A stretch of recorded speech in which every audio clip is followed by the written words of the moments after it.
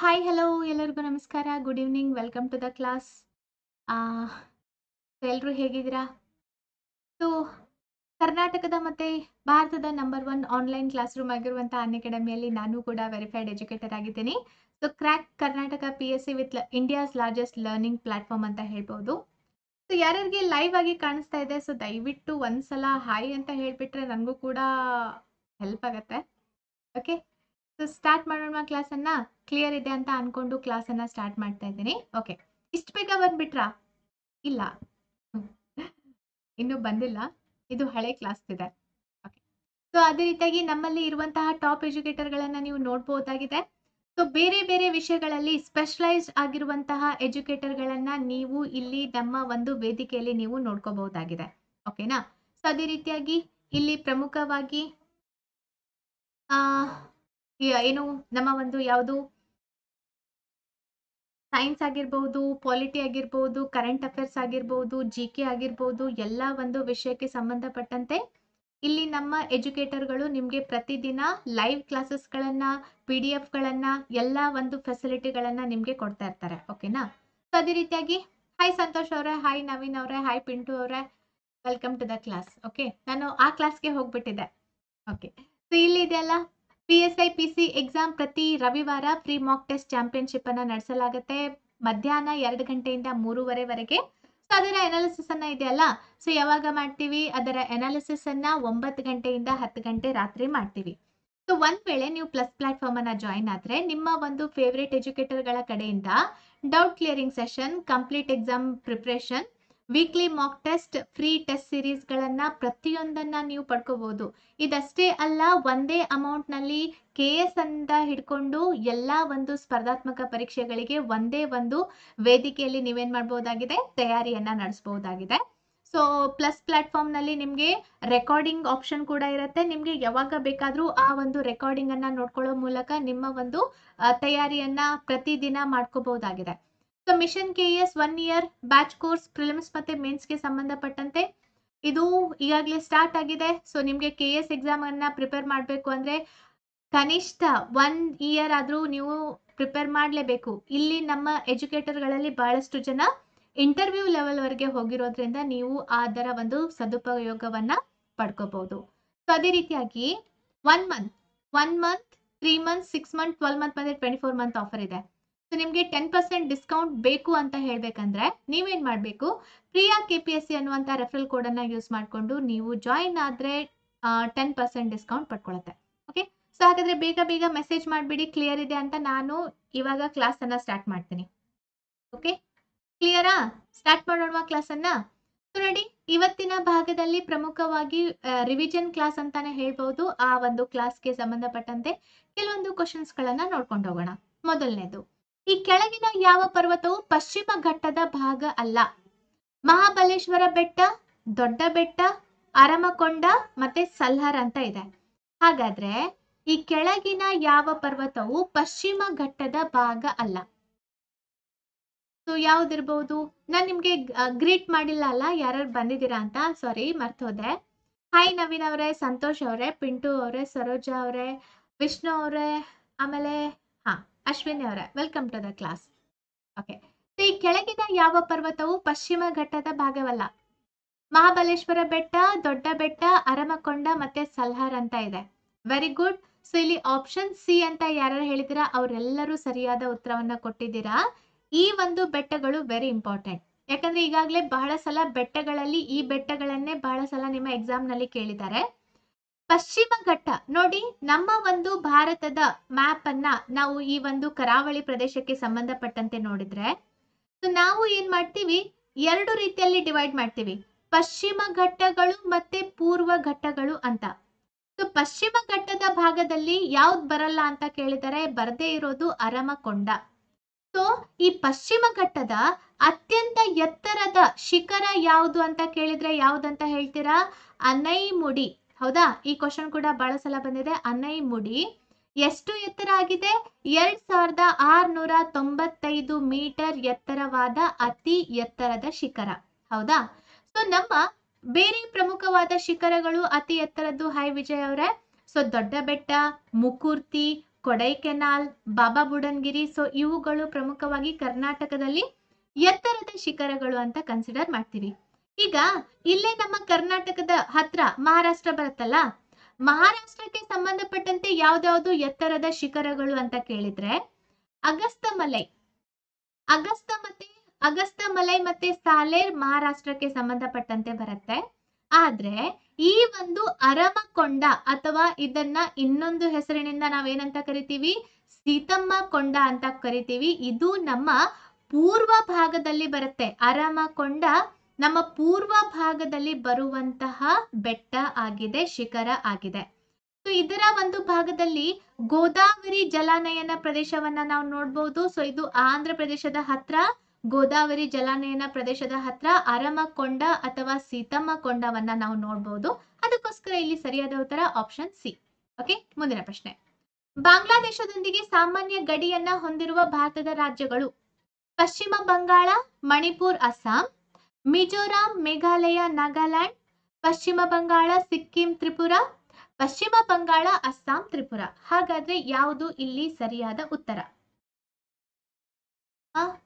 ಯಾವುದು ನೋಡಿ, ನಿಮ್ಮ ನಿಮ್ಮ ಆನ್ಸರ್ ಅನ್ನ ಹೇಳ್ಬಹುದು. ಯಾವುದು ಕರೆಕ್ಟ್ ಆಗಿದೆ, ಯಾವುದು ತಪ್ಪಾಗಿದೆ, ಯಾವ್ದು ಹೆಂಗ್ ಆಗ್ತಾ ಇದೆ ಅಂತ ನೋಡ್ಕೊಂಡು ಹೇಳಿ. ಓಕೆ, ಶೇ, ಆನ್ಸರ್ ನೋಡಿಲ್ಲ ಅಲ್ಲ? ನೋಡಿದ್ರೆ ಹೇಳ್ಬಿಡಿ. ಆನ್ಸರ್ ನೋಡ್ಬಿಟ್ರಾ? ಓಕೆ ನೋಡಿಲ್ಲ ಅಲ್ಲ? ನೋಡಿಲ್ಲ ಅಂತ ಅನ್ಕೊಂಡು ಭರವಸೆ ಮಾಡ್ತಾ ಇದ್ದೀನಿ ನಿಮ್ಮ ಮೇಲೆ. ಅಥವಾ ನೋಡ್ಬಿಟ್ರಾ? ಓಕೆ. ಸೊ ಇಲ್ಲಿ ಆಪ್ಷನ್ ಯಾವುದು ಅಂತ ನೋಡೋಣ. ಓಕೆನಾ ಆಪ್ಷನ್ ಯಾವುದು ಅಂತ ಹೇಳ್ಬೇಕಂದ್ರೆ ಆಪ್ಷನ್ ಡಿ ಯಾವುದು? ಪಶ್ಚಿಮ ಬಂಗಾಳ, ಅಸ್ಸಾಂ ಮತ್ತೆ ತ್ರಿಪುರ. ಹೌದಾ? ಈಗ ಬಾಂಗ್ಲಾದ್, ಈಗ ಎಷ್ಟು ದೇಶಗಳೊಂದಿಗೆ ಭಾರತ ಗಡಿಯನ್ನ ಹಂಚ್ಕೊಂಡಿದೆ ಅಂತ P C P S I ಎಕ್ಸಾಮ್ನಲ್ಲಿ ಬಹಳ ಸಲ ಕೇಳಿದ್ದಾರೆ. ಭಾರತ ದೇಶ ಎಷ್ಟು ದೇಶಗಳೊಂದಿಗೆ ಗಡಿಯನ್ನ ಹಂಚಿಕೊಂಡಿದೆ ಅಂತ ಕೇಳಿದಾಗ ಎಷ್ಟು ಹೇಳ್ಬೇಕಾಗತ್ತೆ? ಏಳು, ಬಾಂಗ್ಲಾದೇಶ್, ಚೀನಾ, ಪಾಕಿಸ್ತಾನ್, ನೇಪಾಳ್, ಮಯನ್ಮಾರ್, ಭೂತಾನ್ ಅಫ್ಘಾನಿಸ್ತಾನ್ ಯಾವ ದೇಶದೊಂದಿಗೆ ಅತಿ ಹೆಚ್ಚು ಗಡಿಯನ್ನ ಹಂಚಿಕೊಂಡಿದೆ ಅಂತ ಕೇಳಿದ್ರೆ ಬಾಂಗ್ಲಾದೇಶ್ ಅಂತ ಹೇಳ್ಬೇಕಾಗತ್ತೆ. ಎಷ್ಟು ಉದ್ದದ ಗಡಿಯನ್ನ ಹಂಚಿಕೊಂಡಿದೆ ಅಂತ ಕೇಳಿದ್ರೆ ನಾಲ್ಕ್ ಸಾವಿರದ ತೊಂಬತ್ತಾರು ಪಾಯಿಂಟ್ ಎಪ್ಪತ್ತು ಕಿಲೋಮೀಟರ್ ಅಂತ ಹೇಳ್ಬೇಕಾಗತ್ತೆ. ಅತಿ ಕಡಿಮೆ ಗಡಿಯನ್ನ ಯಾವ್ದ್ರೊಂದಿಗೆ ಹಂಚ್ಕೊಂಡಿದೆ ಅಂತ ಕೇಳಿದ್ರೆ ಅಫ್ಘಾನಿಸ್ತಾನ್ ಅಂತ ಹೇಳ್ಬಹುದು ಅಫ್ಘಾನಿಸ್ತಾನ್, ಪಾಕಿಸ್ತಾನ್ ಭಾರತದ ಯಾವ ಭಾಗದಲ್ಲಿ ಬರುತ್ತೆ ಅಂತ ಕೇಳಿದ್ರೆ ವಾಯುವ್ಯ ಭಾಗದಲ್ಲಿ ಅಂತ ನಾವು ಹೇಳ್ಬಹುದಾಗತ್ತೆ ಸೊ ಹಾಗಾದ್ರೆ ಭಾರತದ ಯಾವ ರಾಜ್ಯಗಳು ಬಾಂಗ್ಲಾದೇಶದೊಂದಿಗೆ ಗಡಿಯನ್ನ ಹಂಚ್ಕೊಂಡಿದೆ ಅಂತ ಕೇಳಿದ್ರೆ ಅವಾಗ ಏನ್ ಮಾಡ್ಬೇಕಾಗತ್ತೆ? ಯಾವ ಯಾವ ರಾಜ್ಯಗಳು? ಅಸ್ಸಾಂ, ಪಶ್ಚಿಮ ಬಂಗಾಳ ಮಿಜೋರಾಂ, ಮೇಘಾಲಯ ಮತ್ತೆ ತ್ರಿಪುರ ಅಂತ ಹೇಳ್ಬೇಕಾಗತ್ತೆ. ಓಕೆ ಸೊ ಅದೇ ರೀತಿಯಾಗಿ ನಮ್ಮ ಒಂದು ಲ್ಯಾಂಡ್ ಬೌಂಡ್ರಿ ಅಗ್ರಿಮೆಂಟ್ ಯಾವ ದೇಶದೊಂದಿಗೆ ಆಗಿದೆ ಅಂತ ಕೇಳಿದ್ರೆ ಬಾಂಗ್ಲಾದೇಶ ಅಂತ ಹೇಳ್ಬೇಕಾಗತ್ತೆ. ನೋಡಿ, ಇಷ್ಟೆಲ್ಲ ಪ್ರಮುಖವಾಗಿ ನಮ್ಮ ಬಾಂಗ್ಲಾದೇಶಕ್ಕೆ ಸಂಬಂಧಪಟ್ಟಂತೆ ಮಾಹಿತಿ ಬರುತ್ತೆ.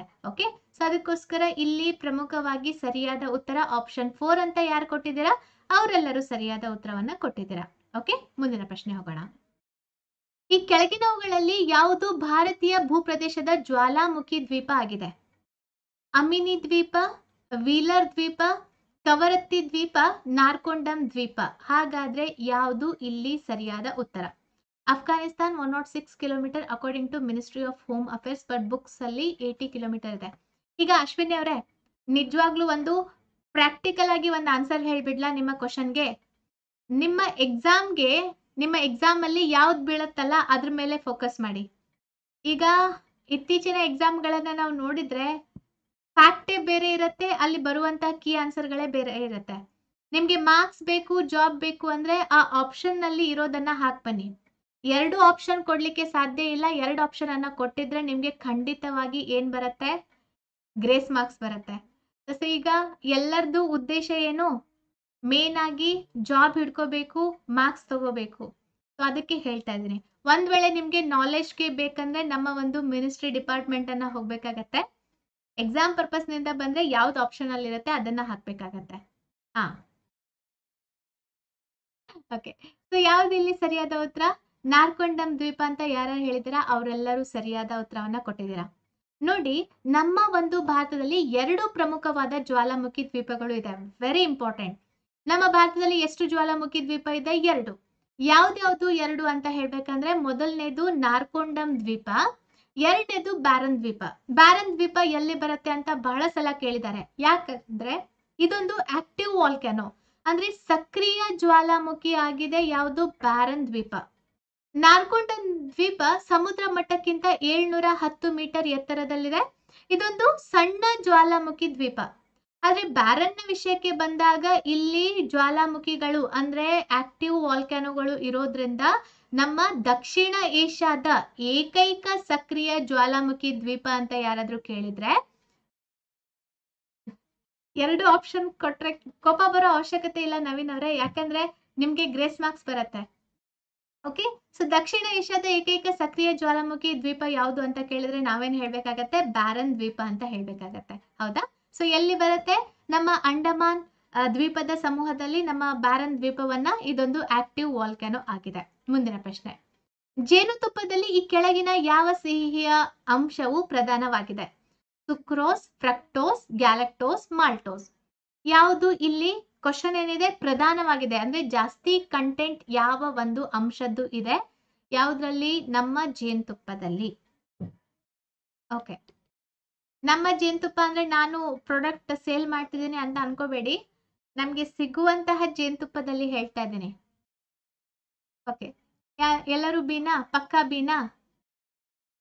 ಎ ಅಂತ ಕೂಡ ಸ್ವಲ್ಪ ಹೇಳ್ತಿದ್ದಾರೆ, ಸಿ ಅಂತ ಕೂಡ ಸ್ವಲ್ಪ ಹೇಳ್ತಿದ್ದಾರೆ. ಹಾ, ಸೊ ಹಾಗಾದ್ರೆ ಜೇನುತುಪ್ಪದಲ್ಲಿ ಯಾವ ಅಂಶ ಪ್ರಧಾನ ಆಗಿದೆ ಅಂತ ಕೇಳಿದ್ರೆ ಆಪ್ಷನ್ ಬಿ ಅಂತ ಹೇಳಿರೋರು ಸರಿಯಾದ ಉತ್ತರವನ್ನ ಕೊಟ್ಟಿದ್ದೀರಾ. ಈಗ ನೋಡಿ, ಅಲ್ಲಿ ಆಪ್ಷನ್ನಲ್ಲಿ ಇರೋದು ಎಲ್ಲ ಜೇನುತುಪ್ಪದಲ್ಲಿ ಇದೆ. ಆದ್ರೆ ಕ್ವಶನ್ ಏನ್ ಕೇಳಿದ್ದಾರೆ ಪ್ರಧಾನವಾಗಿರೋದು ಯಾವುದು ಅಂತ ಕೇಳಿದ್ದಾರೆ ಅಂದ್ರೆ ಅತಿ ಹೆಚ್ಚು ಪ್ರಮಾಣದಲ್ಲಿ. ಸೊ ಜೇನುತುಪ್ಪದ ಸಂಯೋಜನೆ ಯಾವ್ದಾವ್ದ್ರಿಂದ ಆಗತ್ತೆ? Fructose thirty eight point two percent sucrose one point five percent glucose thirty one percent ಖನಿಜಗಳು ಝೀರೋ ಪಾಯಿಂಟ್ ಫೈವ್ ಪರ್ಸೆಂಟ್ ನೀರು seventeen point one percent maltose seventy seven point two percent carbohydrates four point two percent ಇಲ್ಲಿ ಪ್ರಧಾನವಾಗಿರೋದು ಯಾವುದು? Fructose ಅಂತ ಹೇಳಬೇಕು. ಫ್ರಕ್ಟೋಸ್ನ ನಂತರ ಯಾವುದು ಪ್ರಧಾನ ಆಗಿದೆ ಅಂತ ಕೇಳಿದ್ರೆ ಗ್ಲೂಕೋಸ್ ಅಂತ ಹೇಳಬೇಕು. ಓಕೆ ಸೊ ಇಲ್ಲಿ ಸರಿಯಾದ ಉತ್ತರ ಫ್ರಕ್ಟೋಸ್ ಮುಂದಿನ ಪ್ರಶ್ನೆ. ಭಾರತದ ಪ್ರಧಾನ ರೇಖಾಂಶ ಇಂಡಿಯನ್ ಸ್ಟ್ಯಾಂಡರ್ಡ್ ಮೆರಿಡಿಯನ್ ಈ ಕೆಳಗಿನ ಯಾವ ರಾಜ್ಯಗಳ ಮೂಲಕ ಹಾದು ಹೋಗುತ್ತೆ? ಉತ್ತರ ಪ್ರದೇಶ್ ಮತ್ತು ಕರ್ನಾಟಕ, ಛತ್ತೀಸ್ಗಢ ಮತ್ತು ತಮಿಳುನಾಡು, ತೆಲಂಗಾಣ ಮತ್ತು ಬಿಹಾರ್ ಮಧ್ಯಪ್ರದೇಶ್ ಮತ್ತು ಆಂಧ್ರ ಪ್ರದೇಶ್. ಹಾಗಾದ್ರೆ ಯಾವುದು ಸರಿಯಾದ ಉತ್ತರ? ಯಾಕೆ ವಿಜಯಕುಮಾರ್ ಅವರೇ? ಸ್ಪೆಕ್ಟ್ಸ್ ಹಾಕೊಂಡಿಲ್ವಾ? ಸ್ಪೆಕ್ಟ್ಸ್ ಹಾಕೊಂಡ್ ನೋಡಿ ಸರ್ ಅಲ್ಲ ಮೇಡಮ್ ಯಾವುದು ನೋಡಿ? ಇಂಡಿಯನ್ ಸ್ಟ್ಯಾಂಡರ್ಡ್ ಮೆರಿಡಿಯನ್ ಭಾರತದ ಪ್ರಧಾನ ರೇಖಾಂಶ. ಯಾವ ರಾಜ್ಯಗಳ ಮೂಲಕ ಹಾದು ಹೋಗುತ್ತೆ ಅಂತ ಕೇಳ್ತಿದ್ದಾರೆ. ಓಕೆ ಡಿ ಪಕ್ಕನಾ? ವೆರಿ ಗುಡ್ ಇಲ್ಲಿ ಯಾರ್ಯಾರು ಡಿ ಅಂತ ಹೇಳಿದಿರಾ? ಅವರೆಲ್ಲರೂ ವೆರಿ ಗುಡ್ ಕರೆಕ್ಟ್ ಆಗಿ ಆನ್ಸರ್ ಅನ್ನ ಹೇಳಿದಿರಾ? ಇದಕ್ಕೆ ಸಂಬಂಧಪಟ್ಟಂತೆ ಸ್ವಲ್ಪ ವಿವರಣೆಯನ್ನ ನೋಡೋಣ. ನೋಡಿ, ನಮ್ಮ ಒಂದು ಭಾರತದ ನಕಾಶೆಯನ್ನ ನಾವು ನೋಡಿದಾಗ ಏನು? ಈ ಒಂದು ಎಂಬತ್ತೆರಡೂವರೆ ಎಂಬತ್ತೆರಡೂವರೆ ಪೂರ್ವ ರೇಖಾಂಶ ನಮ್ಮ ಭಾರತದ ಮಧ್ಯಭಾಗದಲ್ಲಿ ಹಾದು ಹೋಗುವಂತಹ ಪೂರ್ವ ರೇಖಾಂಶ ಆಗಿದೆ. ಇದು ಉತ್ತರದಿಂದ ದಕ್ಷಿಣಕ್ಕೆ ಹಾದು ಹೋಗುವಾಗ ಎಷ್ಟು ರಾಜ್ಯಗಳ ಮೂಲಕ ಹಾದು ಹೋಗತ್ತೆ? ಐದು ರಾಜ್ಯಗಳ ಮೂಲಕ ಹಾದು ಹೋಗತ್ತೆ. ಆ ಐದು ರಾಜ್ಯಗಳು ಅಂತ ಕೇಳಿದ್ರೆ ಉತ್ತರ ಪ್ರದೇಶ್ ಮಧ್ಯಪ್ರದೇಶ್ ಛತ್ತೀಸ್ಗಢ, ಒಡಿಸ್ಸಾ ಮತ್ತೆ ಆಂಧ್ರ ಪ್ರದೇಶ್. ಸೊ ನಮ್ಗೆ ಕೊಟ್ಟಿರೋದು ಆಪ್ಷನ್ ಅಲ್ಲಿ ಎರಡಿದೆ ಮಧ್ಯಪ್ರದೇಶ್ ಮತ್ತೆ ಆಂಧ್ರ ಪ್ರದೇಶ್. ಅದಕ್ಕೋಸ್ಕರ ಆಪ್ಷನ್ ಡಿ ಸರಿಯಾದ ಉತ್ತರ. ಸೊ ಈ ಒಂದು ಎಂಬತ್ತೆರಡೂವರೆ ಪೂರ್ವ ರೇಖಾಂಶದ ಆಧಾರದ ಮೇಲೆ ನಿಗದಿತ ಪ್ರಮಾಣಿತ ಸ್ಥಳಗಳನ್ನ ನಾವು ಏನ್ ಮಾಡ್ತೀವಿ? ಗುರುತಿಸ್ತೀವಿ. ಈ ಐದು ರಾಜ್ಯಗಳನ್ನ ದಯವಿಟ್ಟು ನೆನ್ಪಿಟ್ಕೊಳ್ಳಿ. ಬಹಳ ಸಲ ಕೇಳಿದ್ದಾರೆ ಎಂಬತ್ತೆರಡೂವರೆ ಪೂರ್ವ ರೇಖಾಂಶದ ಬಗ್ಗೆ ಕೇಳಿದ್ದಾರೆ ಓಕೆ ಸೊ ವೆರಿ ಇಂಪಾರ್ಟೆಂಟ್ ಮತ್ತೆ ಇನ್ನೊಂದೇನಂತ ಹೇಳ್ಬೇಕಂದ್ರೆ, ನಮ್ಮ ಭಾರತದ ರಾಜ್ಯಗಳ ಮೂಲಕ ಹಾದು ಹೋಗುವ ಕಾಲ್ಪನಿಕ ರೇಖೆ ಯಾವುದು ಅಂತ ಕೇಳಿದ್ರೆ, ಯಾವ್ದು ಹೇಳ್ತೀರಾ? ಭಾರತದ ಮೂಲಕ ಅಥವಾ ಭಾರತದ ರಾಜ್ಯಗಳ ಮೂಲಕ ಹಾದು ಹೋಗುವಂತಹ ಕಾಲ್ಪನಿಕ ರೇಖೆ ಯಾವುದು? ಯಾವ್ದದು? ಯಾವ್ದೋ ಇದೆ ನೋಡಿ. ನಿಮ್ಮ ಕಮೆಂಟ್ ಒಂದು ಬರ್ತಾ ಇಲ್ಲ. ಓಕೆ, ಇವಾಗ ಬಂತು ಅಶ್ವಿನಿ ಅವ್ರದ್ದು ವೆರಿ ಗುಡ್ ಕರ್ಕಾಟಕ ಸಂಕ್ರಾಂತಿ ವೃತ್ತ ಹೌದಾ? ಕರ್ಕಾಟಕ ಸಂಕ್ರಾಂತಿ ವೃತ್ತ ಭಾರತದ ಎಂಟು ರಾಜ್ಯಗಳ ಮೂಲಕ ಹಾದು ಹೋಗತ್ತೆ ಅತಿ ಹೆಚ್ಚು ಹಾದು ಹೋಗೋದು ಯಾವುದ್ರ ಮೂಲಕ? ಯಾವ ರಾಜ್ಯದ ಮೂಲಕ? ಮಧ್ಯಪ್ರದೇಶದ ಮೂಲಕ. ಹೌದಾ? ಸೊ ಇದನ್ನ ದಯವಿಟ್ಟು ನೆನ್ಪಿಟ್ಕೊಳ್ಳಿ. ಮುಂದಿನ ಒಂದು ಪ್ರಶ್ನೆಗೆ ಹೋಗೋಣ. ಭಾರತದಲ್ಲಿ ಅಂತಾರಾಜ್ಯ ವಲಸೆಯು ಯಾವ ಪಟ್ಟಿಯಲ್ಲಿ ಇದೆ? ಕೇಂದ್ರ ಪಟ್ಟಿ, ಸಮವರ್ತಿ ಪಟ್ಟಿ, ರಾಜ್ಯ ಪಟ್ಟಿ ಮತ್ತೆ ನಿರ್ದಿಷ್ಟವಾಗಿ ಯಾವುದೇ ಪಟ್ಟಿಯಲ್ಲಿ ಇಲ್ಲ. ಹಾಗಾದ್ರೆ ಯಾವ ಒಂದು ಪಟ್ಟಿಯಲ್ಲಿ ಅಂತಾರಾಜ್ಯ ವಲಸೆ ನಾವು ನೋಡ್ಬೋದು? ಅಂತರ್ರಾಜ್ಯ ವಲಸೆಯನ್ನ ಯಾವ ಪಟ್ಟಿಯಲ್ಲಿ ನಾವು ನೋಡ್ಬೋದು? ಕೇಂದ್ರ, ಸಮವರ್ತಿ, ರಾಜ್ಯ ನಿರ್ದಿಷ್ಟವಾಗಿ ಯಾವುದು ಪಟ್ಟಿಯಲ್ಲಿ ಇಲ್ಲ. ಹೈ ಹರಿ ನಾಯಕ್ ಅವರ welcome to the class okay so Vijay ಅವರು ಬಿ ಅಂತ ಹೇಳಿ, ಅಶ್ವಿನಿ ಅವರು ಎ ಪಿಂಟು ಅವರು ಡಿ ಶರಣ್ ಅವರು ಎ ಅಶ್ವಿನಿ ಅವರು ಎ ಪಕ್ಕಾನಾ ನೋಡಿ ಅಂತರ್ರಾಜ್ಯ ಬಂದ್ಬಿಟ್ಟಿದೆ ಅಂದ್ರೆ ನೀವು ಯೋಚನೆ ಮಾಡೋ ಅವಶ್ಯಕತೆನೇ ಇಲ್ಲ. ಅಂತರ್ರಾಜ್ಯ ಇಂಟರ್ ಸ್ಟೇಟ್ ಬಂದ್ಬಿಟ್ಟಿದೆ ಅಂದ್ರೆ ನೀವು ಯೋಚನೆ ಮಾಡೋ ಅವಶ್ಯಕತೆನೇ ಇಲ್ಲ, ಯಾವ್ದಕ್ಕೆ ಹೋಗುತ್ತೆ ಅಂತ ಥಟ್ ಅಂತ ಹೇಳ್ಬೇಕಾಗತ್ತೆ. ಹೌದಾ? ಯಾಕಂದ್ರೆ ರಾಜ್ಯ ಅಂತ ಬಂದ್ರೆ ಮಾತ್ರ ನಮ್ಮ ರಾಜ್ಯಕ್ಕೆ ಸಂಬಂಧ ಬರುತ್ತೆ. ಅಂತರ್ರಾಜ್ಯ ಬಂದ್ಬಿಟ್ರೆ ಅದು ಕೇಂದ್ರ ಪಟ್ಟಿಗೆ ಸಂಬಂಧಪಟ್ಟಂತೆ ಹೋಗೇ ಬಿಡತ್ತೆ. ಹೈ ರೂಪ ಅವ್ರೆ ಸೊ ಇಲ್ಲಿ ಇದೆಯಲ್ಲ ನಮ್ಮ ಒಂದು ಕೇಂದ್ರ ಪಟ್ಟಿಯಲ್ಲಿ ಪ್ರಮುಖವಾಗಿ ಕ್ರಮ ಸಂಖ್ಯೆ ಎಂಬತ್ತೊಂದು ಅಂತರಾಜ್ಯ ವಲಸೆ ಮತ್ತು ಅಂತರಾಜ್ಯ ಸಂಪರ್ಕ ತಡೆಯ ವಿಷಯವನ್ನ ಅದು ಒಳಗೊಂಡಿದೆ. ಹಾಗಾದ್ರೆ ನಮ್ಮ ಒಂದು ಸೆಂಟ್ರಲ್ ಲಿಸ್ಟ್ನಲ್ಲಿ ಟೋಟಲ್ ಆಗಿ ಎಷ್ಟು ವಿಷಯಗಳನ್ನ ನಾವು ನೋಡ್ಬೋದು? ಸೆಂಟ್ರಲ್ ಲಿಸ್ಟ್ನಲ್ಲಿ ಟೋಟಲ್ ಆಗಿ ಎಷ್ಟು ವಿಷಯಗಳನ್ನ ನಾವು ನೋಡಬಹುದಾಗಿದೆ? ಎಷ್ಟು? ನೋಡಿ, ಈಗ ನೂರ. ಆಕ್ಚುಲ್ ಆಗಿ ನಂಬರ್ ಪ್ರಕಾರ ನೋಡ್ಕೊಂಡು ಹೋದ್ರೆ ನಂಬರ್ ಪ್ರಕಾರ ನೋಡ್ಕೊಂಡು ಹೋದ್ರೆ ನೈಂಟಿ ಏಟ್ ಓಕೆ ನಂಬರ್ ಪ್ರಕಾರ ನೋಡ್ಕೊ ಸಾರಿ ನಂಬರ್ ಪ್ರಕಾರ ನೋಡ್ಕೊಂಡು ಹೋದ್ರೆ ನೈಂಟಿ ಸೆವೆನ್ ಆದ್ರೆ ಕೌಂಟ್ ಮಾಡ್ಕೊಂಡ್ ಬಂದ್ರೆ ಎಷ್ಟು ಹೇಳ್ಬೋದು? ಒನ್ನೂರ ಒನ್- ಒನ್ನೂರು ನೂರು ವಿಷಯಗಳನ್ನ ಕೇಂದ್ರ ಪಟ್ಟಿಯಲ್ಲಿ ನಾವು ನೋಡ್ಬೇಕಾಗತ್ತೆ. ಕೌಂಟ್ ಮಾಡ್ತಾ ಬಂದ್ರೆ ತೊಂಬತ್ತೇಳನೇದು, ಇಲ್ಲಾಂದ್ರೆ, ಅಂದ್ರೆ ಯಾಕಂದ್ರೆ ಮಧ್ಯ ಮಧ್ಯದಲ್ಲಿ ಎ ಬಿ ಸಿ ಡಿ ಅಂತ ಕೂಡ ಬರುತ್ತೆ. ಸೊ ಅದಕ್ಕೋಸ್ಕರ, ಆದ್ರೆ ನಿಮ್ಮ ಎಕ್ಸಾಮ್ನಲ್ಲಿ ಕೇಳೋದು ಎಷ್ಟು ವಿಷಯ ಅಂತ ಕೇಳಿದಾಗ ನೂರ್ ಅಂತ ಹಾಕ್ ಬಂದ್ರೆ ಸಾಕು. ಓಕೆ ಸೊ ಹಾಗಾದ್ರೆ ಕೇಂದ್ರ ಪಟ್ಟಿಯಲ್ಲಿರುವ ವಿಷಯಗಳನ್ನ ಯಾರು ಕೇಂದ್ರ ಪಟ್ಟಿಯಲ್ಲಿರುವ ವಿಷಯಕ್ಕೆ ಕಾನೂನು ಮಾಡುವ ಅಧಿಕಾರ ಯಾರಿಗೆ ಇದೆ? ಕೇಂದ್ರ ಪಟ್ಟಿಯಲ್ಲಿರುವಂತಹ ವಿಷಯಗಳಿಗೆ ಕಾನೂನು ಮಾಡುವ ಅಧಿಕಾರ ಯಾರಿಗೆ ಇದೆ?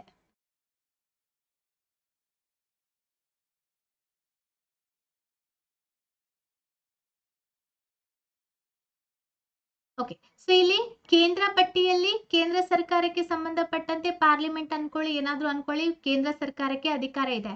ರಾಜ್ಯ ಪಟ್ಟಿಯಲ್ಲಿ ಟೋಟಲ್ ಆಗಿ ಅರವತ್ತೊಂದು ವಿಷಯಗಳು ಇದೆ. ಇದನ್ನ ಇವು ಈ ವಿಷಯಗಳ ಮೇಲೆ ಕಾಯ್ದೆ ಮಾಡುವ ಅಧಿಕಾರ ಯಾರಿಗೆ ಇದೆ?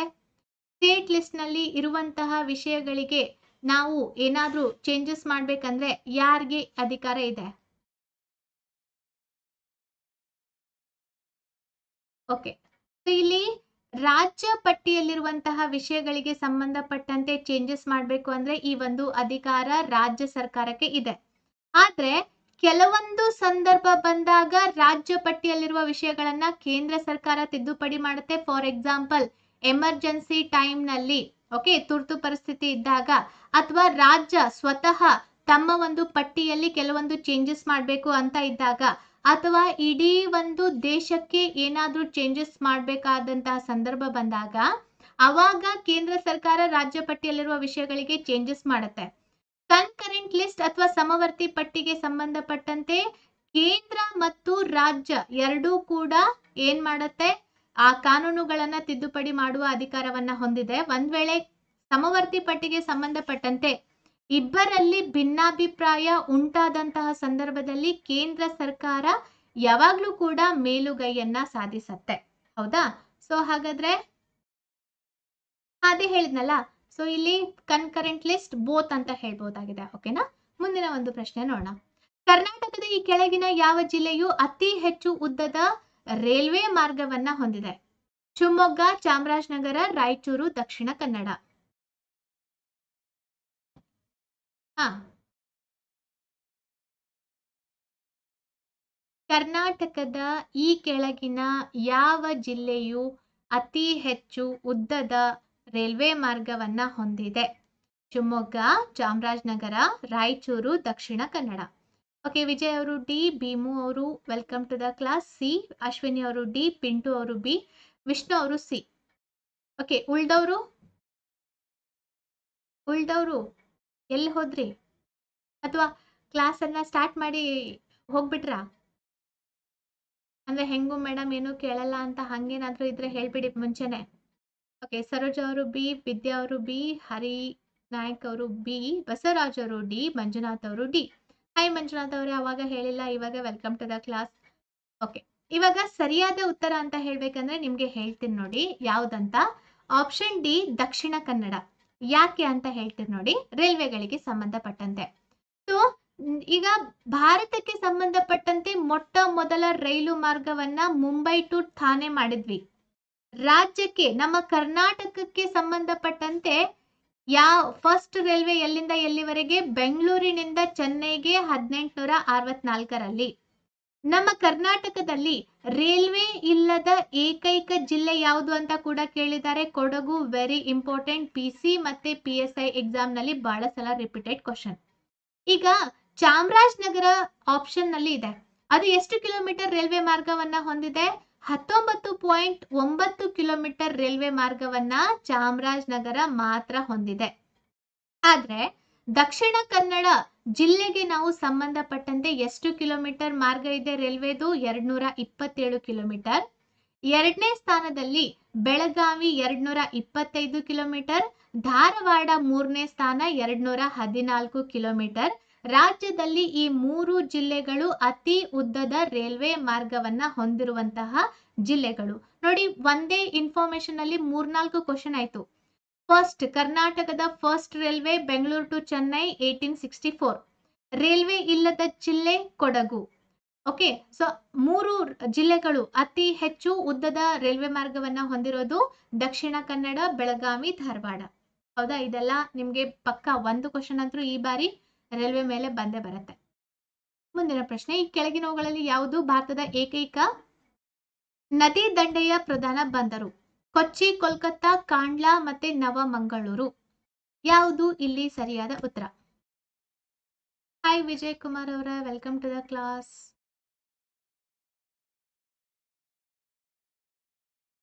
ಕೆಳಗಿನವುಗಳಲ್ಲಿ ಯಾವುದು ಭಾರತದ ಏಕೈಕ ನದಿ ದಂಡೆಯ ಪ್ರಧಾನ ಬಂದರು? ಯಾವುದು?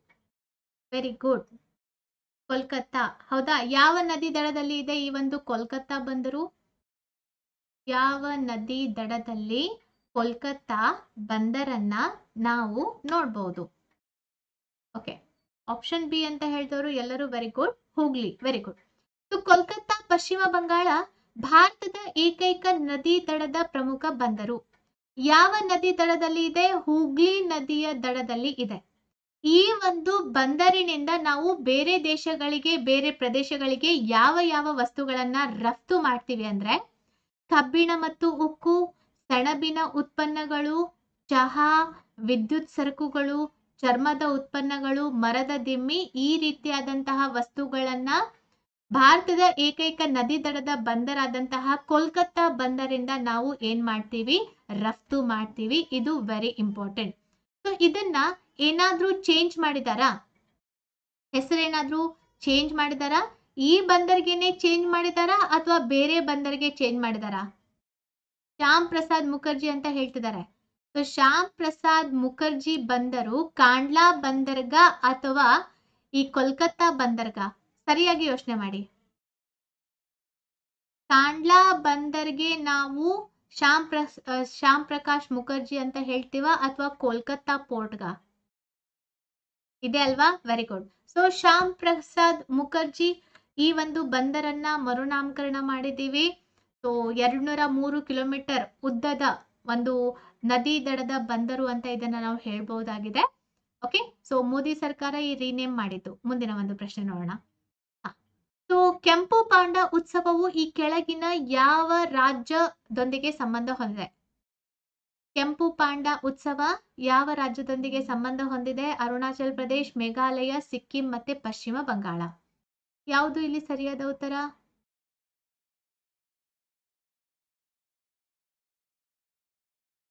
ಕರೆಕ್ಟ್ ಆಗಿದೆ ಅಶ್ವಿನಿ ಅವರೇ.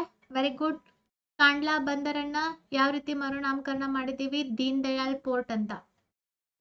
ಓಕೆ ಅರುಣಾಚಲ್ ಪ್ರದೇಶ್, ಮೇಘಾಲಯ, ಸಿಕ್ಕಿಂ ಮತ್ತೆ ಪಶ್ಚಿಮ ಬಂಗಾಳ. ಯಾವ್ದಿರ್ಬೋದು ನೋಡಿ. ಆಪ್ಷನ್ ಎ ಅಂತ ಹೇಳ್ತಿದ್ದೀರಾ? ಅಶ್ವಿನಿ ಅವರು ಸಿ ಸಿಕ್ಕಿಂ ಉಳ್ದವರೆಲ್ಲ ಎ ಪಿಂಟು ಅವರು ಬಿ ಹೈ ಅಡ್ವೇಶ್ ಅವರೇ. Welcome to the class okay so Vidya ಅವರು ಎ ಎ ವಿಜಯ್ ಅವರು ಸಿ ಅಶ್ವಿನಿ ಅವರು ಸಿಕ್ಕಿಂ ಅಂತ ಹೇಳಿ ಕ್ವಶನ್ ಮಾರ್ಕ್ ಹಾಕಿದ್ದಾರೆ. ಓಕೆ ಭೀಮು ಅವರು ಬಿ ನೋಡೋಣವಾ, ಯಾವುದು ಅಂತ? ವಿಷ್ಣು ಅವರು ಸಿ ಇಲ್ಲಿ ಸಿ ಅಂತ ಹೇಳಿರೋರು ಎಲ್ಲರೂ ಸರಿಯಾದ ಉತ್ತರವನ್ನು ಕೊಟ್ಟಿದ್ದೀರಾ. ಸೊ ಕೆಂಪು ಪಾಂಡವನ್ನ ಐಲರಸ್ ಫಲ್ಜೆನ್ಸ್ ಅಂತ ಕೂಡ ಕರಿತೀವಿ. ಪೂರ್ವ ಹಿಮಾಲಯ ಮತ್ತು ನೈಋತ್ಯ ಚೀನಾದಲ್ಲಿನ ಒಂದು ಸ್ಥಳೀಯ ಸಸ್ತನಿ ಆಗಿದೆ. ಕೆಂಪು ಪಾಂಡ ನಮ್ಮ ಸಿಕ್ಕಿಂನ ರಾಜ್ಯ ಪ್ರಾಣಿ ಕೂಡ ಆಗಿದೆ. ಹೌದಾ? ಸಿಕ್ಕಿಂನ ರಾಜ್ಯ ಪ್ರಾಣಿ ಯಾವುದು ಅಂತ ಕೇಳಿದ್ರೆ ಕೆಂಪು ಪಾಂಡ. ಇದೊಂದು ಚಳಿಗಾಲದ ಉತ್ಸವವಾಗಿದೆ. ಚೀನಾವನ್ನ ಹೊರತುಪಡಿಸಿ ಎರಡನೆಯ ಒಂದು ದೇಶ ಅತಿ ಹೆಚ್ಚು ಕೆಂಪು ಪಾಂಡಗಳನ್ನ ಹೊಂದಿದೆ ಅಂತ ಕೇಳಿದ್ರೆ ಯಾವುದು? ನಮ್ಮ ಭಾರತ. ನಮ್ಮ ಭಾರತದ ಅರುಣಾಚಲ್ ಪ್ರದೇಶ್, ಮೇಘಾಲಯ, ಸಿಕ್ಕಿಂ ಮತ್ತೆ ಪಶ್ಚಿಮ ಬಂಗಾಳ. ಅರುಣಾಚಲ್ ಪ್ರದೇಶ್, ಮೇಘಾಲಯ, ಸಿಕ್ಕಿಂ, ಪಶ್ಚಿಮ ಬಂಗಾಳ. ಈ ಒಂದು ರಾಜ್ಯಗಳಲ್ಲಿ ಸುಮಾರು ಐದು ಸಾವಿರದಿಂದ ಆರು ಸಾವಿರ ಕೆಂಪು ಪಾಂಡಗಳು ಇವೆ ಅಂತ ಅಂದಾಜು ಮಾಡಲಾಗಿದೆ. ಓಕೆ? ಸೊ ಈ ಉತ್ಸವ ನಾವು ಆಚರಣೆ ಮಾಡೋದು ಚಳಿಗಾಲದಲ್ಲಿ, ಸಿಕ್ಕಿಂನಲ್ಲಿ. ಓಕೆ? ಮುಂದಿನ ಪ್ರಶ್ನೆ. ಭಗವದ್ಗೀತೆಯನ್ನ ಸಂಸ್ಕೃತದಿಂದ ಇಂಗ್ಲಿಷ್ಗೆ ಮೊದಲು ಅನುವಾದಿಸಿದವರು ಯಾರು? Charles Wilkin Ferdinand Kittel Alexander Cunningham Benjamin Louis Rice ಯಾರಿರ್ಬೋದು? ಭಗವದ್ಗೀತೆಯನ್ನ ಸಂಸ್ಕೃತದಿಂದ ಇಂಗ್ಲಿಷ್ಗೆ ಅನುವಾದಿಸಿದವರು. Okay very good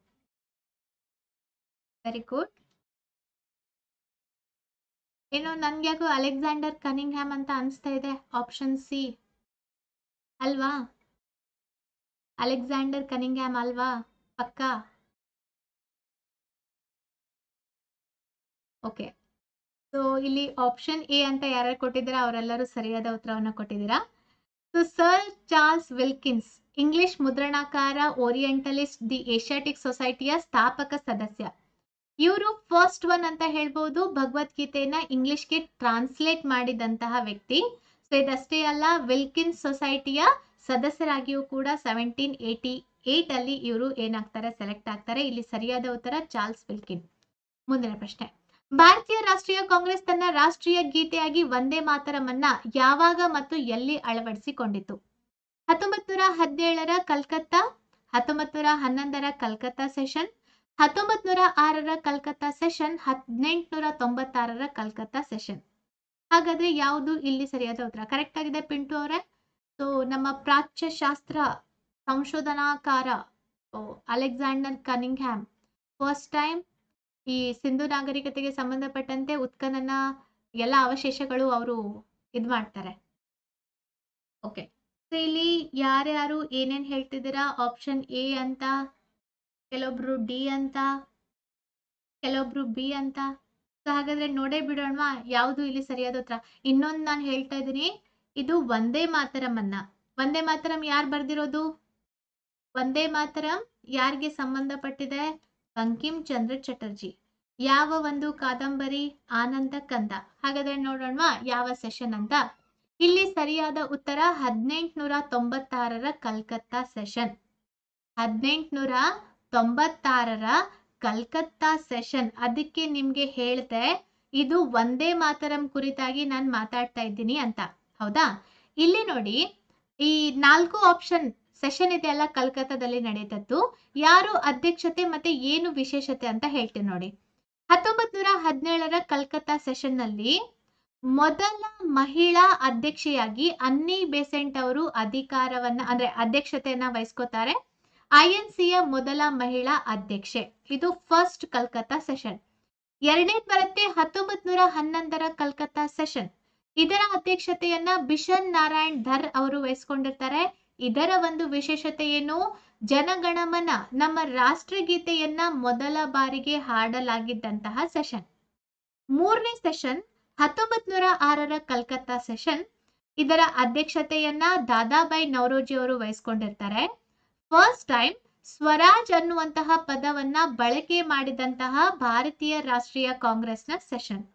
ಫೈನಲ್ ಆಗಿ ಹದಿನೆಂಟುನೂರ ಎಂಬತ್ತೊಂಬತ್ತರ ಕಲ್ಕತ್ತಾ ಸೆಷನ್, ಇದರ ಅಧ್ಯಕ್ಷತೆಯನ್ನ ರಹಿಮತ್ ಉಲ್ಲಾ ಎಂ ಸಹಾನಿ ವಹಿಸ್ಕೊಂಡಿರ್ತಾರೆ. ನಮ್ಮ ಈ ಒಂದು ಒಂದೇ ಮಾತರಮ್ಮನ್ನ ಮೊದಲ ಬಾರಿಗೆ ಈ ಒಂದು ಸೆಷನ್ನಲ್ಲಿ ಹಾಡಲಾಗತ್ತೆ. ಓಕೆ ಕ್ಲಿಯರಾ ನಾಲ್ಕು ಸೆಷನ್ ಸೊ ಇಲ್ಲಿ ಸರಿಯಾದ ಉತ್ತರ ಆಪ್ಷನ್ ಡಿ ಅಂತ ಹೇಳಿರೋರು ಸರಿಯಾದ ಉತ್ತರವನ್ನ ಕೊಟ್ಟಿದ್ದೀರಾ? ಹಾಯ್ ಗಿರಿಜಾ ಅವರೇ. ಓಕೆ ಮುಂದಿನ ಪ್ರಶ್ನೆ ನೋಡೋಣ. ಈ ಕೆಳಗಿನವರಲ್ಲಿ ಬ್ರಿಟಿಷ್ ಸಂಸತ್ ಸದಸ್ಯರಾದ ಏಷ್ಯಾದ ಮೊದಲ ವ್ಯಕ್ತಿ ಯಾರು? R C Majumdar, R C Dutta, Gopalakrishna Gokhale, Dadabhai Naoroji. ಯಾವುದು ಸರಿಯಾದ ಉತ್ತರ?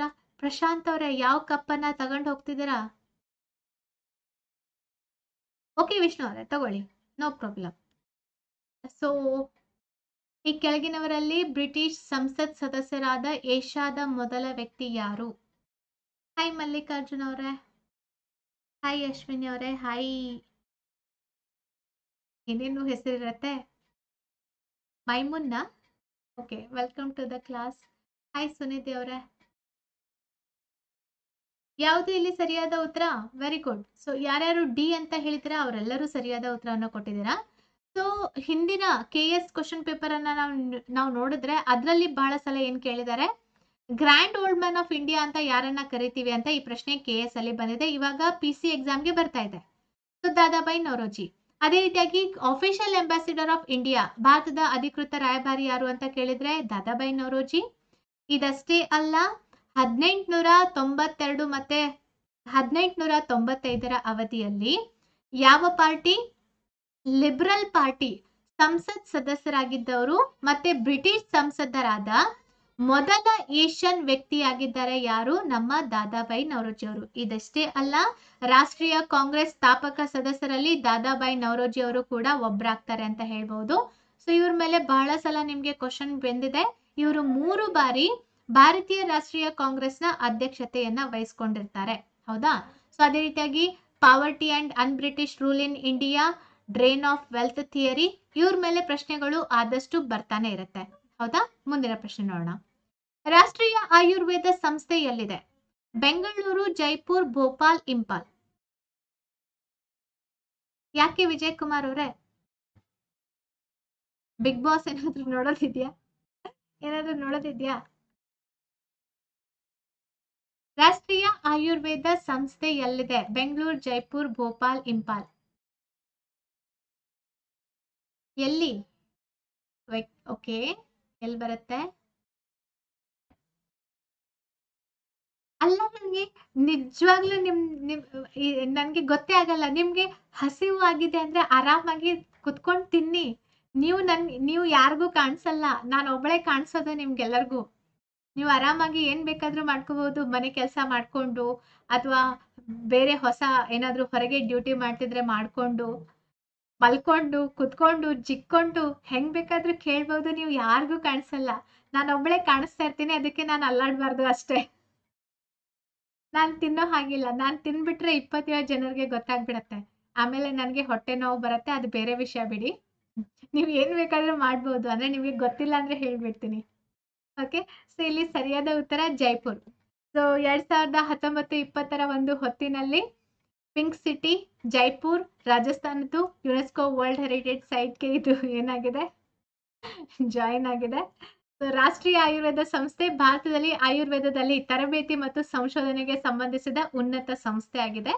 ಓಕೆ ಸೊ ಇಲ್ಲಿ ಸರಿಯಾದ ಉತ್ತರ ಜೈಪುರ್. ಮುಂದಿನ ಪ್ರಶ್ನೆ. ಹಾ ವೆರಿ ಗುಡ್ ನವೀನ್ ಅವರೇ. ಸೊ ದಿಯೋಗರ್ ನಲ್ಲಿರುವ ದಶಾವತಾರ ದೇವಾಲಯ ಯಾರ ಕಾಲಕ್ಕೆ ಸೇರಿದೆ? ಮೌರ್ಯರು, ಕುಶಾನರು, ಶೃಂಗರು, ಗುಪ್ತರು. ಯಾರಿಗೆ ಸಿಕ್ಕಿದೆ ಯಾರ ಟೈಮ್ಗೆ ಸೇರಿದೆ ಇದು? ದಿಯೋಗರ್ ನಲ್ಲಿರುವ ದಶಾವತಾರ ದಶಾವತಾರ, ಹತ್ತು ಅವತಾರ. ದಶಾವತಾರ ಅಂತ ಹೇಳಿದ್ರೆ ಎಲ್ಲರೂ ಓಡ್ ಹೋಗಿ ರಾವಣನಿಗೆ ಹೇಳ್ತೀರಾ? ಆದ್ರೆ ಇಲ್ಲಿ ವಿಷ್ಣು. ವಿಷ್ಣುವಿನ ದಶಾವತಾರ ದೇವಾಲಯ, ಆ, ಸೊ ಇದು ಯಾರ ಒಂದು ರಾಜವಂಶರ ಕಾಲಕ್ಕೆ ಹೋಗುತ್ತೆ ಅಂತ.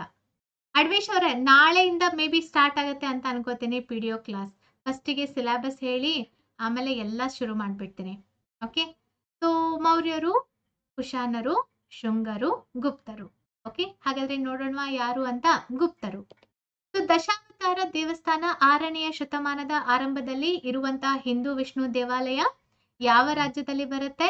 ಉತ್ತರ ಪ್ರದೇಶಕ್ಕೆ ಬರುತ್ತೆ. ಇದಷ್ಟೇ ಅಲ್ಲ, ಗುಪ್ತರ ಕಾಲಕ್ಕೆ ಸಂಬಂಧಪಟ್ಟಂತೆ ವೆರಿ ಇಂಪಾರ್ಟೆಂಟ್ ಕೇಳ್ತಾರೆ.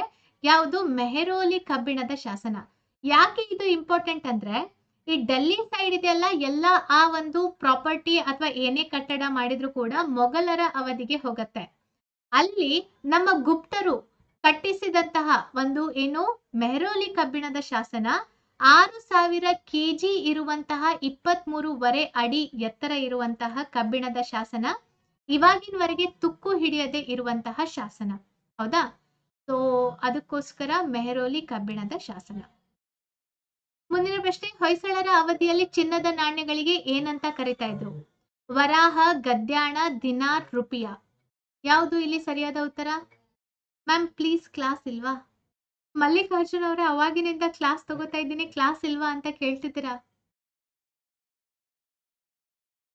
ಸಂತೋಷ್ ಅವರೇ, ಇದೆಲ್ಲ ಕ್ವಶನ್ ನೋಡಿ ಎಸ್ ಟಿ ಎಗೂ ಹೆಲ್ಪ್ ಆಗತ್ತೆ, ಪಿ ಎಸ್ ಐಗೂ ಹೆಲ್ಪ್ ಆಗತ್ತೆ, ಪಿ ಸಿಗೂ ಹೆಲ್ಪ್ ಆಗತ್ತೆ. ಒಂದೊಂದು ಇಂಪಾರ್ಟೆಂಟ್ ಕ್ವಶನ್ಸ್ಗಳು ಕೆ ಎಸ್ಗೂ ಕೂಡ ಹೆಲ್ಪ್ ಆಗತ್ತೆ ನಿಮ್ಗೆ. ಇಲ್ಲಿ ಯಾವ ಒಂದು ಹೆಸರಿನಿಂದ ನಾವು ಹೊಯ್ಸಳರ ಅವಧಿಯಲ್ಲಿ ಚಿನ್ನದ ನಾಣ್ಯಗಳಿಗೆ ಏನಂತ ಕರೆಯುತ್ತಿದ್ವಿ ಅಂತ? ನೋಡೋಣವಾ, ಏನಂತ? ಇಲ್ಲಿ ಸರಿಯಾದಂತ ಉತ್ತರ ಗದ್ಯಾಣ. ಗದ್ಯಾಣ ಆಪ್ಷನ್ ಸಿ ಅಂತ ಕೊಟ್ಟಿರೋರು ಸರಿಯಾದ ಉತ್ತರವನ್ನ ಕೊಟ್ಟಿದ್ದೀರಾ?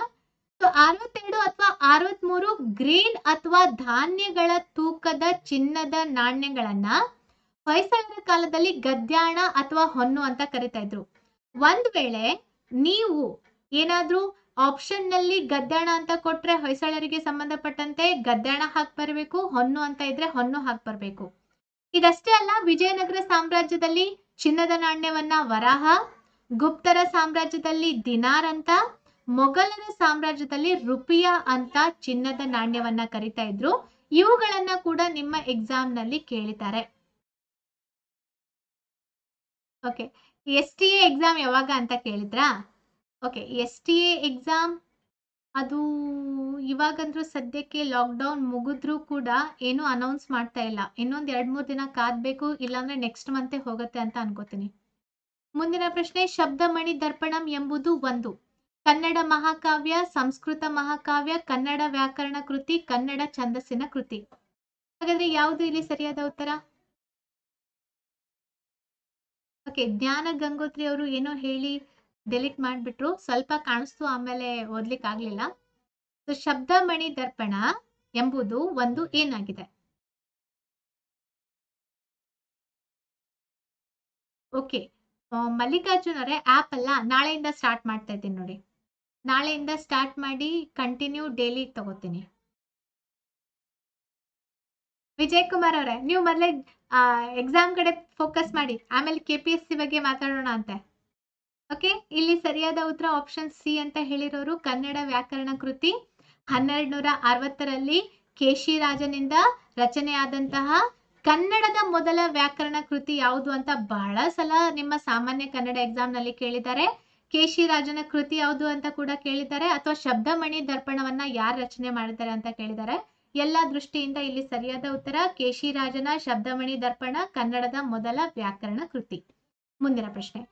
ಶ್ರವಣಬೆಳಗೊಳದಲ್ಲಿ ಗೊಮ್ಮಟೇಶ್ವರನ ಪ್ರತಿಮೆ ಸ್ಥಾಪಿಸಿದ್ದು ಇವರ ಆಳ್ವಿಕೆಯ ಕಾಲದಲ್ಲಿ. ಪಲ್ಲವರು, ಕದಂಬರು, ಗಂಗರು, ಮೌರ್ಯರು. ಹಾಗಾದ್ರೆ ಯಾರು ಇಲ್ಲಿ ಸರಿಯಾದ ಉತ್ತರ? ಓಕೆ. ಯಾರು ಇಲ್ಲಿ ಸರಿಯಾದ ಉತ್ತರ? ಗಂಗರ ಕಾಲದಲ್ಲಿ ನಿಮ್ಗೆಲ್ಲರಿಗೂ ಗೊತ್ತು. ಸೊ, ಏಕಶಿಲೆಯಲ್ಲಿ ರಚನೆ ಮಾಡಿದಂತಹ ಒಂದು, ಆ ಪ್ರತಿಮೆ ಅಂತ ಕೇಳಿದ್ರೆ ಯಾವುದು? ನಮ್ಮ ಈ ಒಂದು ಗೊಮ್ಮಟೇಶ್ವರ ಮೂರ್ತಿಯಾಗಿದೆ. ಇದಕ್ಕೆ ಸಂಬಂಧಪಟ್ಟಂತೆ ಸ್ಟೋರಿ ಕೂಡ ಹೇಳ್ಬಿಟ್ಟಿದ್ದೀನಿ. ಒಂಬೈನೂರ ಎಂಬತ್ಮೂರು ಇದರ ಒಂದು ಕಾಲಾವಧಿ. ಬ್ರಹ್ಮ ಸಮಾಜದ ಸ್ಥಾಪಕ ಯಾರು? Madam, S T A exam ಈ ಜನ್ಮದಲ್ಲಿ ಇಡ್ತಾರಾ ಅಥವಾ ಮುಂದಿನ ಜನ್ಮದಲ್ಲಿ ಇಡ್ತಾರಾ? ಬೇಗ ಇಡ್ಲಿಕ್ಕೆ ಹೇಳಿ, ಇಲ್ಲದಿದ್ರೆ ಆ, ಜ್ಞಾನ ಗಂಗೋತ್ರಿ ಅವರೇ ನನ್ನ ಕೈಯಲ್ಲಿ ಇದ್ರೆ ನಿಮ್ಗೆ ಆಗ್ಲೇ ಮುಗಿಸಿ, ಇವು ಎಲ್ಲರೂ ಜಾಬ್ಗೆ ಹೋಗಿರ್ತಿದ್ರಿ. ಆದ್ರೆ ನನ್ನ ಕೈಯಲ್ಲಿ ಇಲ್ಲ ಅಲ್ಲ? ಅದೇ ಒಂದು ಪ್ರಾಬ್ಲಮ್ ಸೊ ಬ್ರಹ್ಮ ಸಮಾಜ ಎಲ್ಲರಿಗೂ ಗೊತ್ತಿರುವ ಹಾಗೆ ಯಾರಿಗೆ? ರಾಜಾರಾಮ್ ಮೋಹನ್ ರಾಯ್ ಅವರಿಗೆ? ತತ್ವಬೋಧಿನಿ ಸಭಾ, ಆತ್ಮ, ಇದು ಏನು? ಬ್ರಹ್ಮರ ಸಮಾಜ ಆಗಿರ್ಬೋದು, ಆತ್ಮೀಯ ಸಭಾ ಆಗಿರ್ಬೋದು, ಎಲ್ಲ ಕೂಡ ರಾಜಾರಾಮ್ ಮೋಹನ್ ರಾಯ್ ಅವರಿಗೆ ಸಂಬಂಧಪಟ್ಟಿದೆ. ಓಕೆ ಸೊ ಇದಿಷ್ಟು ಈ ಭಾಗದ ಮಾಹಿತಿ ಆಗಿತ್ತು. ವಿಜಯ್ ಕುಮಾರ್ ಅವರಿಗೆ ಪಾಪ ಹಸು ಆಗ್ತಾ ಇದೆ. ಆಮೇಲೆ ತಲೆ ಸುತ್ತು ಬಂದ್ ಬಿಟ್ಬಿಟ್ರೆ ಯಾರು ಎತ್ತಲ್ಲ ಅದಕ್ಕೆ. So one month three month six month twelve month ಮತ್ತೆ ಟ್ವೆಂಟಿ ಫೋರ್ ಮಂತ್ ಆಫರ್ ಇದೆ. Priya K P S C ಅನ್ನುವಂತಹ ರೆಫರಲ್ ಕೋಡ್ ಅನ್ನ ಯೂಸ್ ಮಾಡಿಕೊಂಡು ನೀವೇನ್ ಮಾಡ್ಕೋಬಹುದು? ಟೆನ್ ಪರ್ಸೆಂಟ್ ಡಿಸ್ಕೌಂಟ್ ಪಡ್ಕೋಬಹುದು. ಅಂದ್ರೆ ಒನ್ ಮಂತ್ಗೆ ಥೌಸಂಡ್ ನೈನ್ ಹಂಡ್ರೆಡ್ ರುಪೀಸ್ ಅಂದ್ರೆ ಟೆನ್ ಪರ್ಸೆಂಟ್ ಡಿಸ್ಕೌಂಟ್ ಹೋಗಿ thousand seven hundred and ten rupees ಅಂತ ಹೇಳ್ಬಹುದಾಗಿದೆ ಒಂದ್ ವೇಳೆ ನನ್ನ ಕ್ಲಾಸ್ ನಿಮ್ಗೆ ಇಷ್ಟ ಆದ್ರೆ ದಯವಿಟ್ಟು ಲೈಕ್ ಮಾಡಿ ಶೇರ್ ಮಾಡಿ ಸಬ್ಸ್ಕ್ರೈಬ್ ಆಗೋದನ್ನ ಮರಿಬೇಡಿ. ನನ್ನ ಕ್ಲಾಸ್ ಪ್ರತಿದಿನ ಇವಾಗ ಎರಡು ಕ್ಲಾಸ್ ಸ್ಟಾರ್ಟ್ ಮಾಡ್ತಾ ಇದ್ದೀನಿ. ಎರಡು ಕ್ಲಾಸ್ ಸ್ಟಾರ್ಟ್ ಮಾಡ್ತೀನಿ. ನಾಲ್ಕು ಗಂಟೆಗೆ ವಿಡಿಯೋ ಕ್ಲಾಸನ್ನ ಏಳುವರೆ ಗಂಟೆಗೆ P S I P C police ಎಕ್ಸಾಮ್ಗೆ ಸಂಬಂಧಪಟ್ಟಂತೆ ಕ್ಲಾಸನ್ನ okay P S I P C S T ಎಕ್ಸಾಮ್ಗೆ ಸಂಬಂಧಪಟ್ಟಂತೆ ಕ್ಲಾಸನ್ನ ಸ್ಟಾರ್ಟ್ ಮಾಡ್ತಾ ಇದ್ದೀನಿ. ಸೊ ಎರಡೂ ಕೂಡ ನಿಮಗೆ ಅನುಕೂಲ ಆಗೋ ರೀತಿಯಲ್ಲಿ ಇದಾಗತ್ತೆ. Okay so Priya K P S C ಅನ್ನುವಂತಹ ರೆಫರಲ್ ಕೋಡನ್ನು ಮರಿಬೇಡಿ. ಸೊ ಕ್ಲಾಸ್ ಅನ್ನ ಅಟೆಂಡ್ ಮಾಡಿ ಇದನ್ನ ಯಶಸ್ವಿಗೊಳಿಸೋದಕ್ಕೋಸ್ಕರ ತುಂಬಾನೇ ಧನ್ಯವಾದಗಳು. ಇಪ್ಪತ್ತೈದು ಜನ ಇದ್ದೀರಾ, ಸ್ವಲ್ಪ ಲೈಕ್ ಆದ್ರೂ ಕೊಡಿ. ಪಿಂಟು ಅವ್ರೆ, ನಾಳೆ ಹತ್ತುವರೆಗೆ ತಗೋತೀನಿ ಲರ್ನಿಂಗ್ ಆ್ಯಪಲ್ಲಿ ಬೆಳಿಗ್ಗೆ ನಾಲ್ಕೂವರೆಗೆನಾ? ಹಾ, ಬೆಳಿಗ್ಗೆ ನಾಲ್ಕೂವರೆಗೆ ಬಂದ್ಬಿಡಿ, ಎಲ್ಲರಿಗೂ ತಗೋತೀನಿ.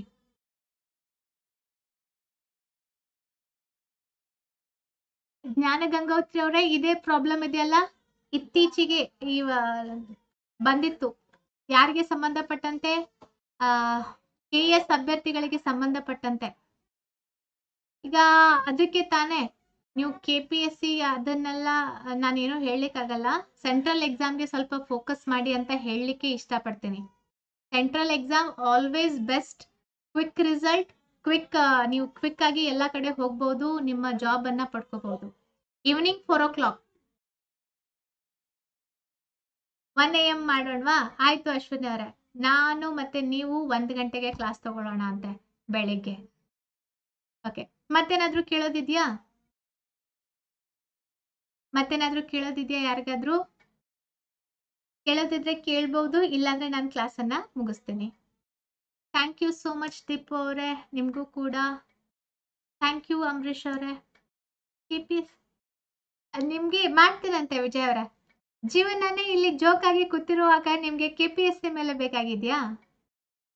ಹಾ, ಖಂಡಿತ ಮಾಡ್ತೀನಂತೆ. ನಾಳೆಯಿಂದ ಆ ಇದು ಅನ್ ಅಕಾಡೆಮಿ ಆ್ಯಪಲ್ಲಿ ಮಾಡ್ತೀನಂತೆ. Okay? Thank you so much ಹಾಗಾದ್ರೆ ಆಗತ್ತೆ ಸಂತೋಷ್ ಅವರೇ ಡೋಂಟ್ ವರಿ ಡೋಂಟ್ ವರಿ ಓಕೆನಾ thank you so much bye good night ನಾನು ಹತ್ತುವರೆಗೆ ಕ್ಲಾಸ್ ತಗೊಂಡ್ರೆ ತಗೋತೀನಿ.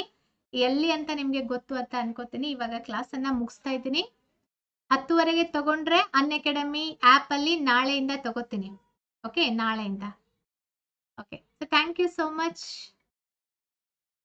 ಹಾ ಪಿಂಟು ಅವರ ರೆಗ್ಯುಲರ್ಲಿ ಇವಾಗ ನಾಲ್ಕು ಗಂಟೆಗೆ ಮತ್ತೆ ಏಳೂವರೆ ಗಂಟೆಗೆ ಯೂಟ್ಯೂಬ್ ಚಾನಲ್ನಲ್ಲಿ.